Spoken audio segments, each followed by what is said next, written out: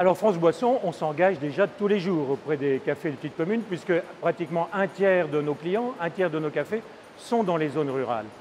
Maintenant, on s'engage parce qu'on veut aussi redynamiser euh, le café de village et mettre en avant le café de village comme lien social euh, dans les zones rurales. Donc on a une offre, tout simplement, qui s'appelle Service en tête territoire, qu'on propose aux élus, qu'on propose aux maires, qui vise à accompagner les maires à réouvrir un café de village en, travaillant sur la mise à disposition de matériel, en lui trouvant des gérants qui veulent s'installer dans la durée pour euh, euh, gérer cette affaire, et ensuite en utilisant nos conseillers services en tête pour aider les gérants à pérenniser leur affaire et adapter en permanence leur offre euh, à leur clientèle.